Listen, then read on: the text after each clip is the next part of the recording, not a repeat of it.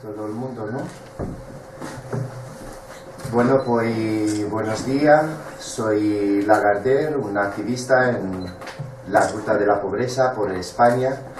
Estamos en Vigo. Os quería dar la gracia a todos los medios, activistas y movimientos por la, por la acogida. Aquí estamos un poco para presentar un poco la situación de, pobreza y sobre todo la situación de la persona sin hogar en la ciudad de, Vigo. La situación, he visitado más de 17 ciudades, grandes ciudades de España y os puedo decir, y os voy a dejar un poco, os advierto que las imágenes, os voy a enseñar un poco, os voy a introducir un poco, os voy a acercar la pobreza de esta ciudad y que las imágenes pues son escalofriantes. El señor alcalde Abel Caballero es un alcalde insensible, inhumano.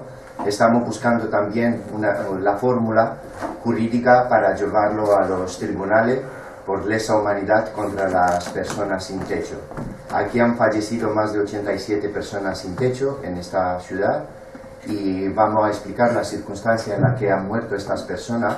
Nosotros consideramos que son asesinatos institucionales, la criminalización de la pobreza ha influido y sobre todo la privatización de los servicios uh, sociales. Primero voy a intentar un poco ofrecer algunos datos. ¿no? La ruta de la pobreza pues, surge pues, del campamento Dignidad de Sevilla. Uh, me vi también obligado a vivir en la calle y en este campamento Dignidad que monté con la persona sin techo, cerca de 30 personas de la ciudad de, Sevilla, tomé conciencia, además soy trabajador social, tomé conciencia de la inteligencia uh, emocional y sobre todo de la creatividad de la persona sin techo. Eran gente muy pobre porque el sistema aplastaba y no dejaban para que pudiesen salir adelante me quedé impresionado sobre todo de la autogestión porque aquel campamento Dignidad de Sevilla se convirtió en un motor y sobre todo era una especie de museo de Sevilla porque venía muchísima gente a diario para ver y entender cómo la persona sin techo ha montado aquella cocina, exposiciones, actividades, baños. Era un espacio en la vía pública donde las personas sin techo podían podido autogestionar su vida. Y os puedo decir que yo me he quedado impresionado porque eran gente que llevaban más de 20 años viviendo en la calle debajo de los puentes. Han perdido el miedo a la policía y le estaban diciendo al alcalde de Sevilla, Juan Espada, el también socialista, aquí estamos alcalde, tenemos derechos. Bueno, pues la respuesta del alcalde, como bien sabéis, lo habéis visto en los medios, uh, a los 33 días arrasó aquel campamento, había gente enferma, No tiraron los medicamentos, a mí me encarcelaron y como siempre intentando invisibilizar la, la pobreza. Posteriormente, pues no hemos puesto, no hemos acercado todavía más, no hemos puesto la puerta del alcalde y hemos estado 126 días y, bueno, pues a raíz de esto me invitaron a la Universidad de Salamanca al máster de criminología, un departamento, porque también ellos tienen la hipótesis de que es una criminalización de la pobreza y me, me, sugier, me sugirieron esa iniciativa de la ruta de la pobreza, la Gardel con una cámara, ¿no? ¿Por qué no vas por toda España? Porque esta situación, nosotros tenemos datos, estudios, esta situación se está dando en otras ciudades, en todas las ciudades de España y más con la llegada del Partido Popular cuando empieza la privatización masiva de los servicios sociales. Y la verdad pues que ellos me animaron empecé, la primera ciudad ha sido muy difícil, no era tan conocido, uh, dormía en los parques, um, porque en la ruta de la pobreza el activismo está enfocado en dos vertientes. Uno de los vertientes es dar visibilidad a las historias de las personas de la calle, porque son historias invisibilizadas por el propio sistema, y la otra es irte a los responsables, a la élite política, y reventarle los actos y, y llevarle la pobreza en su cara, ¿no? porque ellos son los responsables. Y parece que esta vertiente, abajo, arriba, funciona y sobre todo incomoda mucho a la clase política. Os puedo decir pues que también hay que criticar aquí a las ciudades del cambio, como Madrid, Barcelona, Zaragoza, pues son ciudades de cambio solamente de, de imagen, pero en el fondo la cuestión no cambia. Están dando continuidad a la privatización de los servicios sociales. Aquí vamos a hablar de empresas, las grandes empresas que están haciendo negocio de la, de la pobreza, que iniciaron con el Partido Socialista y el PP y que con los alcaldes del cambio sigue este negocio de la pobreza. El otro día salía el alcalde, para dar un ejemplo, de Zaragoza eh, sacando pecho que da 10 viviendas para la persona más castigada de Zaragoza. Acabo de venir de Zaragoza, he estado con el movimiento social y sé en el terreno lo que está pasando. Pues a quién está dando estos pisos el señor alcalde, se lo está dando a la Fundación Raíz, una fundación que tuvo en su directiva a Ana Botella,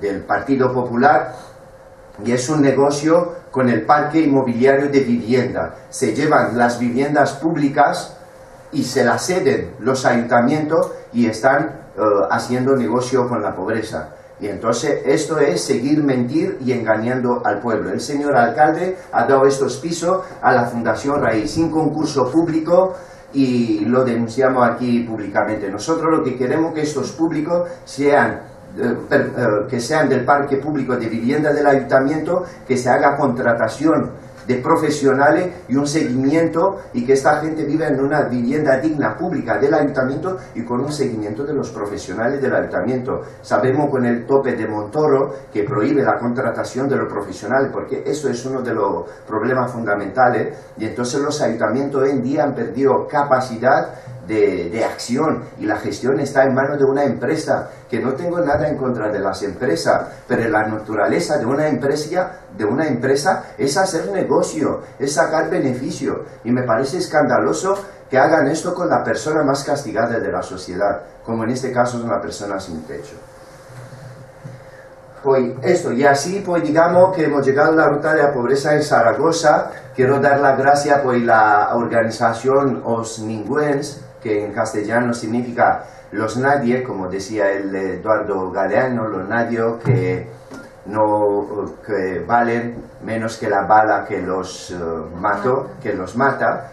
Pues eso, gracias a ellos le quiero dar las gracias por haberme invitado. Ellos están cansadísimos, están cansadísimos sobre todo con, con, con el alcalde y con la concejal de bienestar social que están alejados de la realidad Incluso vamos a dar unos datos que esperemos que los medios de comunicación lo difundan y vamos a salir de ese paradigma y de ese asistencialismo y la caridad que nos están vendiendo. Porque realmente lo que queremos, queremos unos servicios sociales de calidad y esta asociación como Ninguens, la RSP, surgimos debido a esa situación de emergencia social y estamos predestinados a desaparecer no nos estamos cronificando como todas estas organizaciones que se han creado y no desaparecen nunca. Llevan décadas, ¿sabes? Se han instalado allí y siguen con el negocio de la pobreza.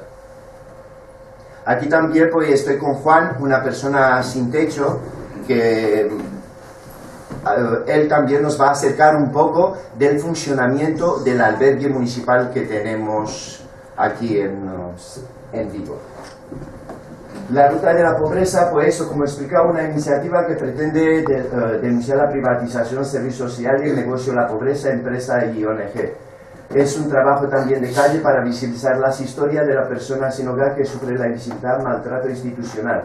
Investigación para la recuperación de la memoria sobre el número de personas sin techo que han fallecido en la calle. Sobre eso quiero hacer un inciso iniciamos con la memoria porque en Sevilla, donde más hemos luchado, cerca de ocho meses, nos dimos cuenta en hecho, esos ocho meses de trabajo en la calle que se nos estaba muriendo en la calle, la gente.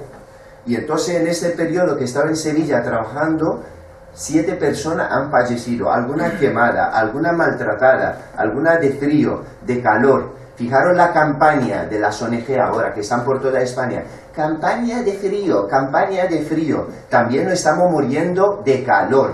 Esas organizaciones han montado unas estructuras que solamente piensan en sus necesidades, no piensan en las necesidades de los afectados de la persona. Fijaros que es esquizofrénico. Entonces ellos siempre hablan del frío y también hablan del hogar. Nosotros hablamos del techo. ¿Por qué hablamos del techo? Porque nosotros todavía no tenemos un techo que nos resguarde de la lluvia y del frío. El hogar ya es un lujo. Fijaros que alejado en lo concepto también están. Y entonces por eso es la memoria porque queremos visibilizar las muertes, porque nosotros consideramos que estas muertes son intencionadas, son del, eh, por el deber del socorro del ayuntamiento, porque tienen funciones claras con esas personas, son también vecinos de, de, este país, de esta ciudad, de estos barrios, y los ayuntamientos lo desatienden, y sobre todo más grave es que criminalizan constantemente la pobreza, con multa por mendigar, con multas por rebusca en la basura. Mirar aquí en Vigo, que os voy a explicar aquí, eh, no tenemos campamento, pero están viviendo en vivienda, infravivienda, mucha gente pues del este de Europa también gitano, pero también de aquí, que están viviendo de la rebusca de la basura. Esa gente incluso ya ni no van a los comedores de la caridad, comedores que encima, voy a dar daros dato, están subvencionados por el alcalde. Y aquí estamos cuando vamos a contextualizar, estamos ante un ayuntamiento de superávit. Estamos con un alcalde que se supone que es el presidente de toda la alcaldía de este país. Y es una vergüenza. Saca superávit con las viviendas sociales que la está vendiendo mientras la gente se está muriendo en la calle. Esta es la situación en Vigo. Y entonces esta es la memoria histórica. Aquí tenemos datos desde el año 2000. Han fallecido en esta ciudad más de 87 personas sin techo. La última persona sin techo que ha fallecido es el abuelo, abuelo que llevaba muchísimo años viviendo en un chupano entre manta, escombro y la basura y el ayuntamiento no hizo nada, absolutamente nada. Si queréis la prensa, eh, porque voy a estar aquí dos semanas, yo os acompaño y os llevo a estos chupanos para que os quede horrorizado de cómo viven los vecinos de la ciudad de Vigo. Esa es la realidad y lo podemos ver también. Y estos son los asesinatos. Y entonces nos interesa mucho hacer una memoria histórica y dar público. Si miráis la ruta de la pobreza, es algo curioso que me lo dicen profesores universitarios de las distintas universidades de España.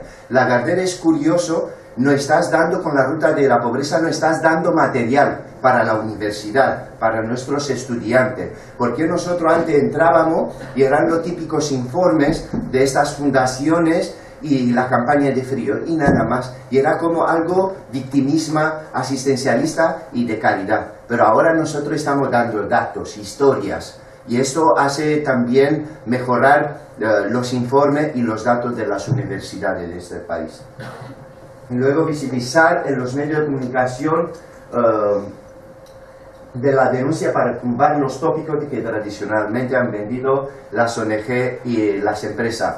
El trabajo de los medios de comunicación es fundamental, es uno de nuestros objetivos una vez que trabajamos en estas dos vertientes élite abajo, los medios de comunicación muchas veces cuando estamos con la élite están allí y a raíz de aquí los medios empiezan, oye, ¿por qué estás protestando? ¿No? Y aquí incidimos y, llevamos a los medios lo que está pasando abajo. Es así de triste, hay que ir a tumbar, reivindicar. Yo os voy a enseñar un vídeo que mm, ha salido ayer y está arrasando en las redes sociales. Ayer estaba el alcalde, pues en su despacho, que no pudimos colar porque tiene una seguridad increíble, el señor alcalde, una policía local que debería tener un protocolo de actuación. La policía está humillando y está em, criminalizando, criminalizando constantemente a las personas sin techo.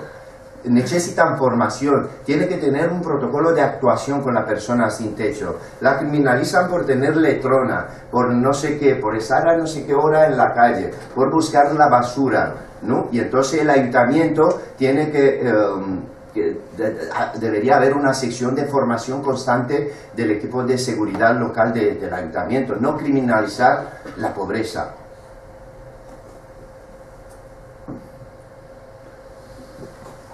Bueno, pues, um, a ver, no sé qué ha pasado. Bueno, eso. Vamos aquí, datos. Aquí os voy a presentar un poco cuál es la respuesta del ayuntamiento, cuál es la red, digamos, de, servicios sociales.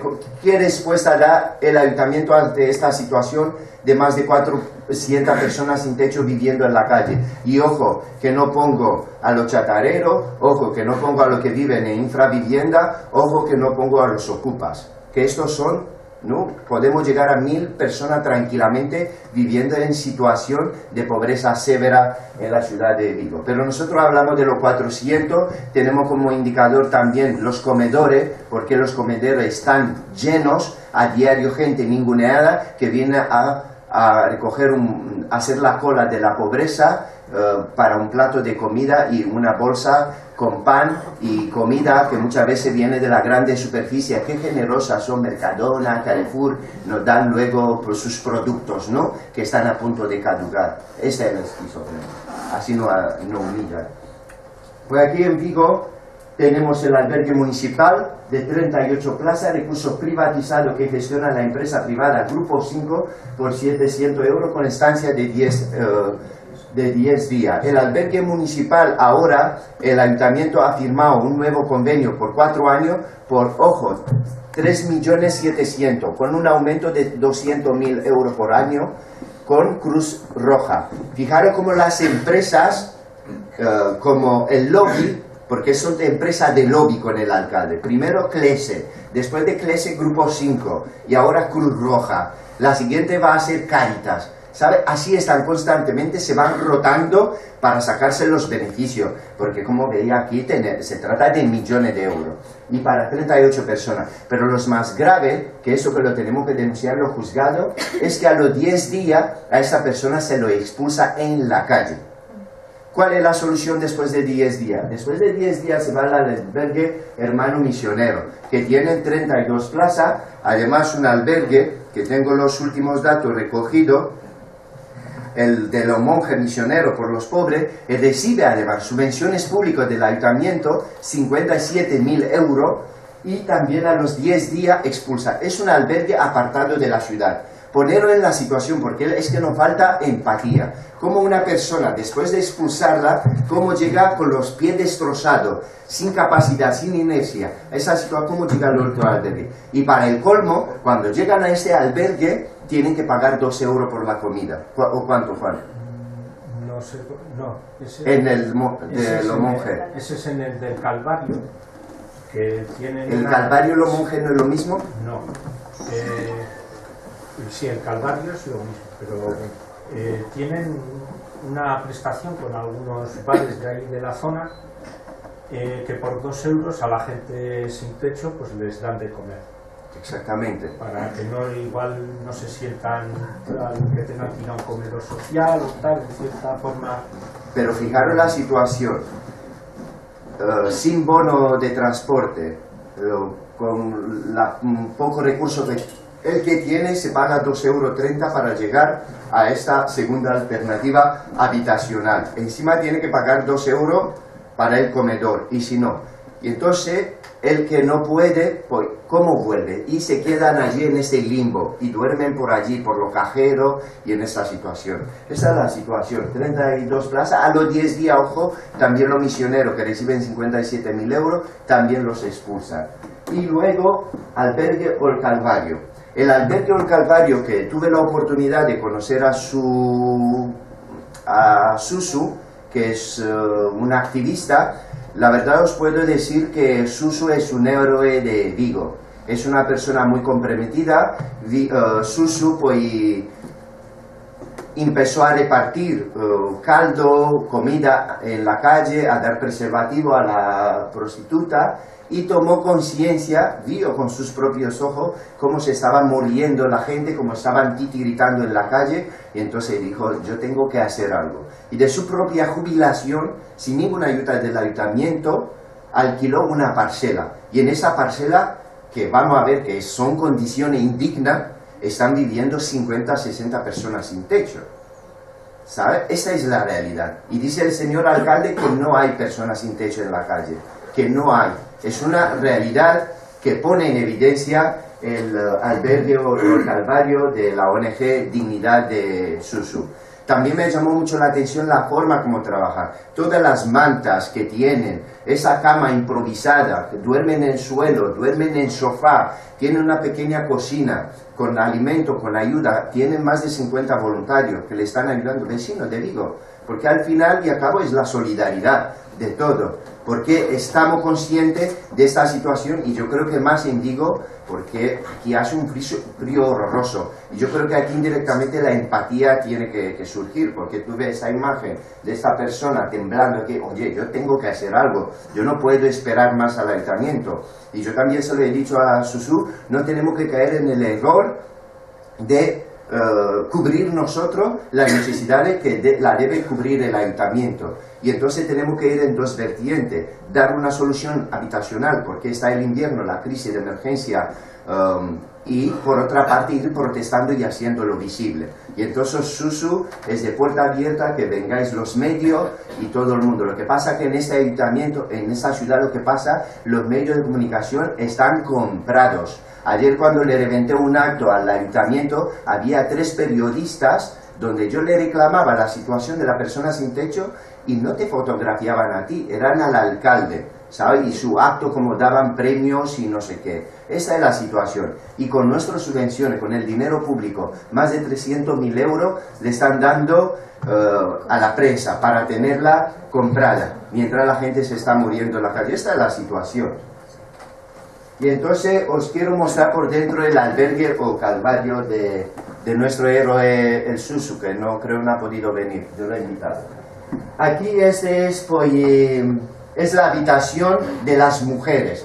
O, otra cosa, eh, lo de los monjes de 57 no quieren mujeres, no quieren perros, mascotas. ¿Sabéis lo que es una mascota para la persona sin techo? Es un miembro de la familia tanto el ayuntamiento, el albergue privatizado, como el de los monjes, no admiten animales. ¿Por qué ese éxito de Susu de tener tanta acogida? Porque admite animales, no hay límite de permanencia y aquí cada uno es la auténtica solidaridad. Se arropan uno en otro, duermen como pueden, pero aquí por lo menos no pasamos el frío de, la calle. Estas son las imágenes, fijaros en la condición en la que viven, la persona sin techo, eso es inadmisible y por favor los medios de comunicación denunciar esto. Eh, hemos respetado un poco la, imagen de la persona sin techo, ¿no? no han pedido, pero hay algunas que sí que han dado la cara y sin miedo han dicho esto no tiene que ver. Eh, además aquí el um, Pedro, o lo recuerdo, Carlos, Carlos, perdona, tantos nombres, Carlos ha lanzado un mensaje para el señor alcalde, que se deje de marear la perdiz y que venga aquí y que nos atienda y que nos escuche. Aquí, pues, ya hemos visto la imagen de antes, eran del albergue de Susu que da 60. Aquí están entre escombro y basura y la rata, como vive, por ejemplo, eh, cogido como ejemplo el barrio Docura, se llama, es correcto, ¿no? Es que anoche estaba buscando un poco por un mapa, ¿no? Donde estaba, ¿no? Y entonces, pues en esa situación están viviendo más de 20 familias en esto por la noche. Fijaros la, la de estas personas, porque es curioso, es, eh, está muy bien saber para contextualizarlo. Ah, eh, este eh, era un convento de las monjas Hace dos años salieron heridos más de 10 personas por la caída del techo. No sé si lo habéis visto en los medios y salieron. ¿Por qué lo escondieron? Yo hablé con dos personas que se le ha caído el techo encima, por la noche durmiendo, durmiendo. Esta es la situación. Pero fijaros, ahora el techo, ellos han puesto mantas, ya os enseño foto, han intentado poner, porque es que la, la, eh, la, necesidad es que te fuerza, no puedes estar en la calle, más con el frío que hace en Vigo. Y entonces pues aquí se ha montado alguna puerta, la están cerrando porque para tener una mínima intimidad y fijaros, esas son las habitaciones, como están cerradas, con candado, y en esa situación están viviendo. Aquí también estamos en una habitación, pues sin ventana, ese es el colchón, aquí secándose la ropa, aquí los zapatos, fijaros, ¿no? Que son gente que que lo que más desean es tener un cobijo, una casa. Eso es lo que nos demuestran estas imágenes. Aquí también otra familia que está viviendo en estas condiciones. Aquí otra.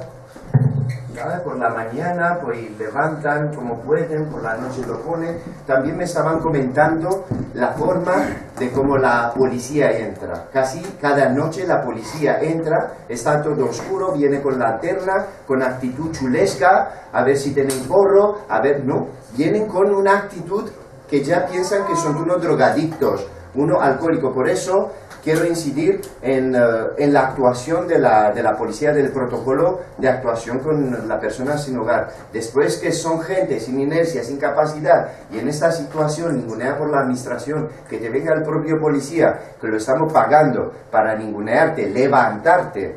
Hablamos de la una de la madrugada, que lo han levantado. Oye, dame tu documentación a una persona después que está en este espacio indigno, oscuro, esta es la situación. Aquí otra habitación cerrada.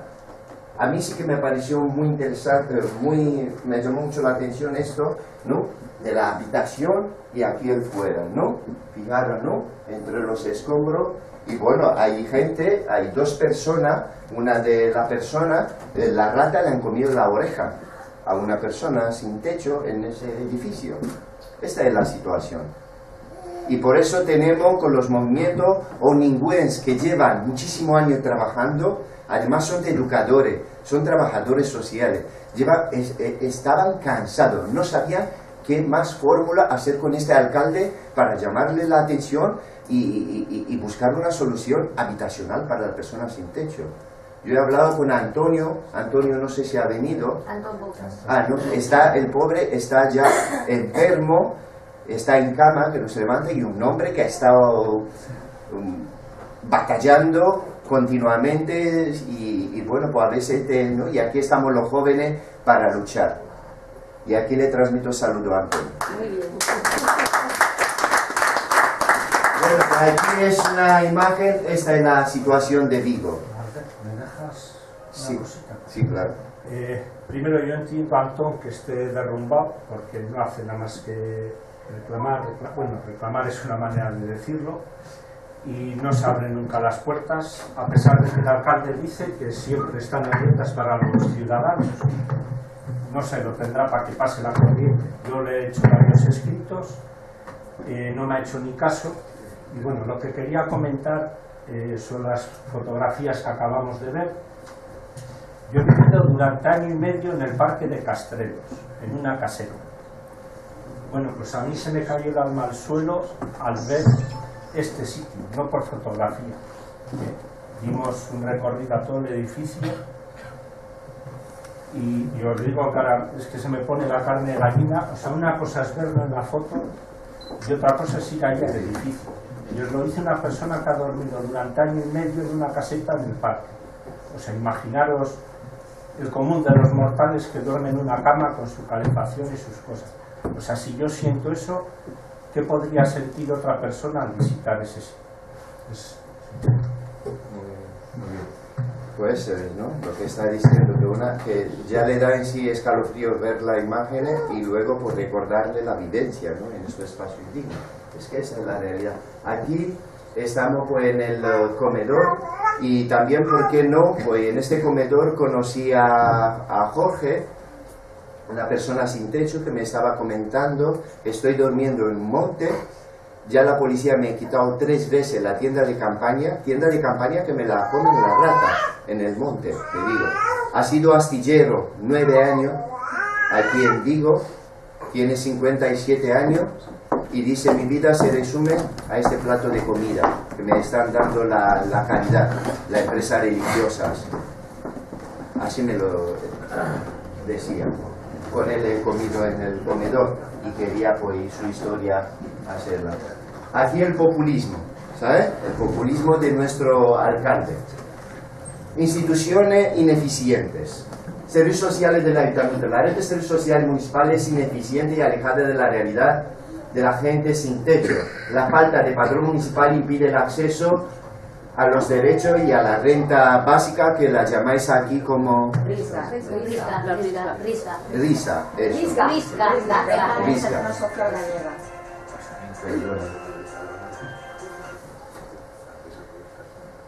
Perdona, lo voy a silenciar. Bueno, mientras tanto podéis ver un detalle. El, el albergue municipal que da un montón de comidas al año no da abasto en teoría o hay Bueno, y habla del catering, quién Sí, lleva. Bueno, y si os dais cuenta están todas las mesas vacías. ¿eh? Hay que esperar hasta dos horas para poder entrar a comer si no tienes la tarjeta. Yo no sé cuándo ha pedido ese señor la vez, viendo la comida que queda en las bandejas, que no queda esa comida. Entonces que bajen de su realidad, ¿eh? que bajen. Luego os contaré, cuando me deje la Gardel, que no es que el que duerma en la calle no es porque quiere, es que él te echa. ¿eh? Luego os lo contaré un poco. Pues eso, ¿no? El, el albergue, un albergue que como hemos dicho a los 10 días, luego lo más duro es que dentro se supone que hay un centro para buscar una situación para mejorar las condiciones, nada de eso.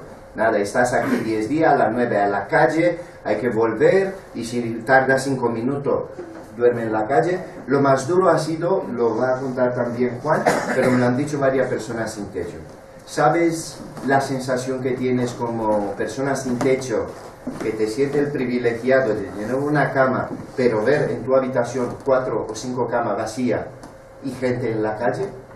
Esa sensación la vivió también Juan. Explícalo, Juan, cómo eh, en el albergue y del caso de la mujer sin techo. Bueno, pues eh, como se dice, pues tienes eh, 10 días. A los 10 días te expulsan del albergue, vamos a decirlo así. Entonces, eh, para poder acceder al albergue se suele hacer colas desde las 9 de la mañana, llegando a las 8 y media a las 9 de la noche y decirte que no hay sitio. O sea, te quedas en la calle después de haber pasado todo el día allí en las condiciones que cada persona pueda tener. Luego, lo que cuento ahora, o sea, eso lo he visto yo, no es que me cuenten, me digan. Eh, se supone que son 10 días dentro, 10 días fuera. Hace poquitos meses han inventado la noche cero. La noche cero es que cuando haya camas vacías, eh, aunque hayan pasado los 10 días, te puedes quedar a dormir. Eso no lo han inventado. En las normas pone que no hay por qué rotar los 10 días si hay sitio libre. O sea, se ha estado dejando a gente en la calle quedando camas vacías. Estando yo allí, hubo una chica que le prohibieron la entrada, porque no habían pasado los 10 días. Y esa noche había cuatro camas vacías de mujeres. Y bueno, Señor alcalde, los que nos dejan la calle es usted. Yo no he pedido nunca nada, solo que cumpla lo que usted dice. No lo diga. O Y Juan, lo más grave, explícalo, que cuando la situación intensa que se da en la puerta, los desheredados que quedan fuera, llaman a la policía para echarlos. yo tengo aquí, porque antes de hacer la huelga de hambre que, que hice aquí abajo mismo, estuve llamando a la policía local. La primera vez vino y yo, sorprendido, fui corriendo y para cuando llegué se había marchado. Digo, no me van a hacer caso. No era por mi llamada. Llamaron desde el albergue porque había una persona que no tenía sitio y no se quería marchar. Entonces lo que llamaron fue para echarla del albergue. Señor alcalde, es su policía local. O sea, los que está echando a la calle es usted. Usted no da 700.000 euros, ahora 900.000 al albergue, se lo da a una empresa. 470.000 euros se van en sueldo. Yo entiendo que los trabajadores trabajen. Quiero ver los resultados de esos trabajadores. Son 38 usuarios y 28 trabajadores. Quiero ver eh, qué trabajo realizan. Porque en las normas existen varias cosas. Ayudarte a reinsertarte, el que tenga un problema, una adicción, intentar encauzarte, eh, ahora pone que van a ser un centro de día, que puede estar la gente de día. No me lo creo. Nos han quitado una consigna libre, que es una habitación con unas taquillas, unas baldas, para la gente que vive en la calle poder guardar allí sus cosas. La han quitado hace año y medio para pintar y poner baldas nuevas. A día de hoy no está puesto. O sea, eso, que son cuatro perras, eh, es que es, eh, Y sobre es- todo, es lo más, indescriptible. lo sobre que todo lo más grave es que hay una planta del albergue que podía, ser, podía habilitar camas. ¿Sabéis lo que tiene guardado? Porque prevén el contrato del albergue. Están todos los muñecos de Semana Santa guardados en una planta del albergue, mientras la gente está viviendo en la calle. Esa es la realidad. Eso es denunciable. Sí, sí, sí, de la Semana Santa está... una, una de Las cuando se concedió el edificio es una de las cláusulas que hay es que los pasos de Semana Santa de, de la iglesia eh, se seguirían guardando allí. Entonces una de las cosas que se está intentando pedir es saber si se puede negociar con la iglesia de alguna manera o se le pide que negocie pues para ver si se puede dejar ese espacio libre. Bueno, pero aquí en la iglesia, si hay un montón de iglesias vacías, ¿no? Y la gente durmiendo en Es la que calle. son muchas cosas. Si la gente sabría en realidad, no sé en qué se gasta el dinero, o que somos personas normales. Yo estuve, Vale, a ver si... Luego, si eso, para la pregunta, ¿por qué no podemos pasar más de una hora? También otra institución ineficiente, la Junta de Galicia, que tiene competencia en vivienda, no dispone de un parque de vivienda pública para los más de 1.500 personas sin techo de la comunidad de Galicia. Hablamos de 1.500, pues según los últimos datos, porque todavía en Galicia, la Junta, no hay un censo. Aquí el alcalde está trabajando a lo loco para que vean que no le interesa, no tiene ni un censo. Pero ¿para qué trabajamos? Porque eh, como nosotros presupuestamos 3.700.000 para personas sin techo para los próximos cuatro años, con un contrato con una empresa, pero ¿sobre qué? ¿Cuántas personas sin techo tenemos? ¿Sabes? Hay que tener unos indicadores cualitativos y cuantitativos claros a la hora de, de trabajar. Están trabajando a lo loco. ¿Sabes? Lo que le interesa el negocio de las empresas. Ni no saben el número que tiene. Y por eso de aquí esa deficiencia. Hay que empezar por un censo muy claro del ayuntamiento, saber el número de personas sin techo que tenemos en la ciudad y a raíz de aquí ir creando una red y, y acatando y actuando. Pero es que no tenemos esto. Y la Junta de Galicia no tiene un parque de vivienda y también pues, le echamos en la cara eso porque tienen una competencia muy clara en vivienda. Pero sí tiene el señor eh, Feijo, tiene dinero para gastárselo en otra institución ineficiente, que es la Defensoría del Pueblo de Galicia. Fijaros cuánto cobra la defensora del pueblo. Es que a mí ese dato me escandalizó. Me costó trabajo encontrarlo porque en la ruta de la pobreza en la comunidad autonómica habéis visto que le doy mucho a las defensorías del pueblo. Porque se están gastando a nivel de España más de 60 millones de euros. Pero todo el dinero, ¿sabéis en lo que va? En los sueldos. ¿Y sabéis quién encabeza? El señor eh, izquierdoso comunista que dice que es que es una vergüenza de Cataluña el, que no me acuerdo el nombre, pero lo podéis buscar, el presidente de la comunidad de Cataluña está cobrando 10.000 euros al mes. Ese señor lleva toda la vida en la política. Es el señor de Cataluña, defensor del pueblo. Y aquí, más o menos de lo mismo, 92.000 euros. Una fiscal puesta a dedo, ella a su vez, porque todos son a libre disposición, todos son nombramiento a dedos y más del 60% del presupuesto va en los sueldos de lo- del defensor, del vice, del segundo, del adjunto y coches oficiales y dieta. Es escandaloso cómo esa señora va a atender la realidad de una persona si ella vive 10 veces más arriba que el colectivo que dice representar. Se han quedado con la sigla, defensor del pueblo.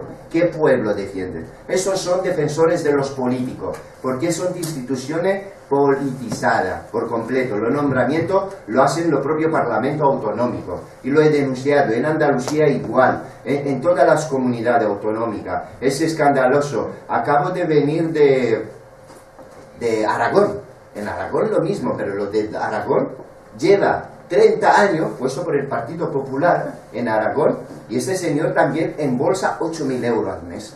Es es- escandaloso. La Defensoría del Pueblo ¿no? debería ser los altavoces de, esta situación de emergencia social que está pasando en la calle. Sin embargo, son tiene instituciones que están tapando constantemente y creando ese informe trampa y manipulando a la prensa. Esta es la realidad. ¿Cómo esa señora con 92.000 euros puede entenderlo? Esa es la ineficiencia de la institución. Ahora también os quiero presentar brevemente los héroes de Vigo, porque lo más importante es, yo creo que gracias a la solidaridad y a los héroes, porque aquí en Vigo hay héroes con nombre y apellido, lo que pasa es que no sale nunca en la prensa. Sale en la prensa pues el populista del alcalde, que habéis visto, viene a ponerse esto, que me lo dijo una persona sin techo que ese día ni no se comió la comida, pero se hizo la foto y se salió, ¿no? Pues héroe, es un pastor que decide alquilar una parcela para los nadie, que temblan de frío en la calle. Yo soy ateo, yo no creo en Dios, yo no voy a dar, eh, dejar mi vida para salvarme la otra. Yo creo en esta vida y actúo en consecuencia. Pero yo sí respeto y para mí, Susu, por mucha cruce que se pone dentro, a mí lo que me interesa es lo que Susu hace y Suso lo que hace está dando una solución habitacional de emergencia para más de 60 personas sin techo. Porque si, si Suso no pusiese esta iniciativa, vaya de muerto que vamos a tener en Vigo. Y eso es, aquí estamos pues, con una caja de preservativo porque estaba a punto de irse para repartirlo por la calle. Otro héroe de Vigo es Jaime, es conductor de ambulancia que reparte manda a la persona sin techo que ignora la administración me lo estaba diciendo que en varias ocasiones han tenido que acudir con la ambulancia y que ha visto jóvenes en Vigo temblando de frío y muchos muertos por, um, ¿cómo se dice? Hipotermia. hipotermia. Y que tanto le ha chocado esta situación que él pues, le ha dicho a sus jefes, yo me voy a llevar mantas, porque sabe que en la ambulancia hay mantas, ¿no? Le han dicho, tú si das mantas a esta gente, te vamos a acusar de ladrón que te ha llevado las mantas y entonces ese hombre cabreado se va a casa, coge la manta de su casa y se va porque él como ha trabajado ha visto, ha localizado donde estaba esta persona temblando y se ha ido. Y para mí esta gente son héroes. Y además lo ha denunciado públicamente, yo le he hecho varios vídeos para que denunciase esta situación de caso de hipotermia y de asesinatos del ayuntamiento que él se encuentra en la calle de Vigo la persona sin techo como Santi, como Juan, como Carlos, que rompen el silencio y deciden luchar por sus derechos. Aquí fue el primer día que decidimos ponernos detrás del albergue eh, municipal. Eran dos personas porque lo han expulsado. Aquí al lado es Santi. Santi también es un héroe porque Santi, después de muchos años en la calle, ahora tiene un rinconcito indigno, pero bueno, por lo menos que lo está pagando por, con la renta esta mínima de inserción y me estaba comentando, yo ahora voy a luchar para crear un comedor, fijaros, ha sufrido tanto el hambre de no tener cena que ahora él tiene su iniciativa con varias personas sin techo para montar algo para dar a la persona sin techo una cena. ¿Por qué no hay cena? Y aquí pues la otra dos personas ¿no? que dice stop expulsión del albergue, otro 87 personas sin techo asesinadas, esos son los héroes que deben salir en la prensa todos los días. Aquí también los héroes pues son los de la ONG Ningüine, por su trabajo diario de denuncia y apoyo a los desheredados de la tierra. Aquí en un acto pues, de una ceremonia, abuelo, que le están poniendo una placa. Eso demuestra que eh, para ellos somos personas, y están poniendo una plaga. Aquí hay una persona, hay una historia que no dejemos tanto. Pues tenéis que acercar al cementerio para que veáis el número que hay. No somos números, señor alcalde, somos personas y detrás de nosotros hay una historia. Y los medios de comunicación tienen que visibilizar cruel, esa crueldad y esas historias para que en definitiva también la vida tenga sentido, porque estamos ya hartos de la manipulación mediática. Y aquí pues Antonio y con los activistas, con los musicantes, dando un poco de luz y alegría y recordando al abuelo, el último asesinato de la ciudad de Vigo.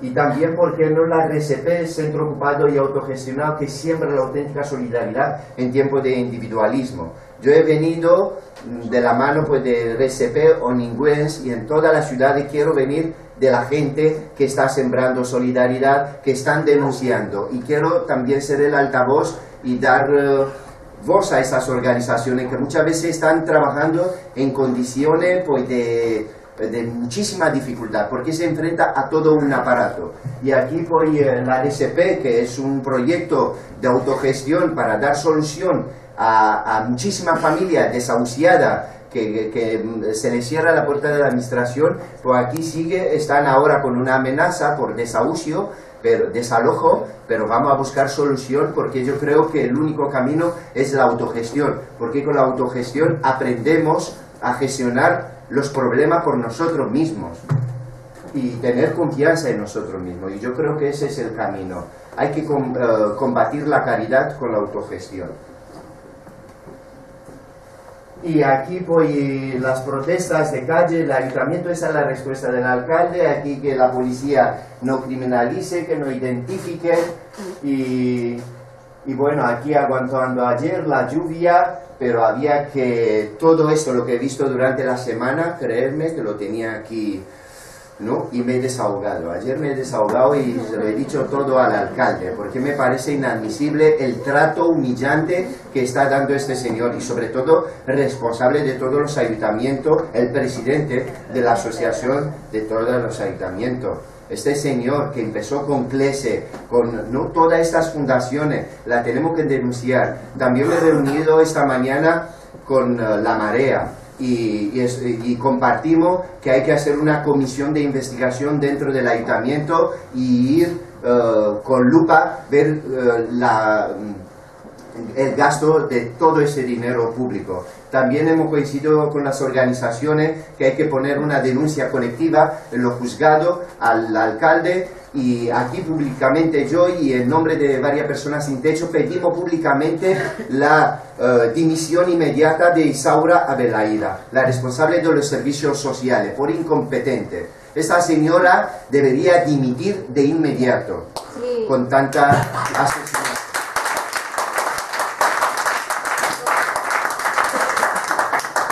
Y aquí me despido con vosotros con este mensaje, no más muerte de personas sin techo en nuestras calles. Pues muchísimas gracias, si tenéis preguntas, aquí.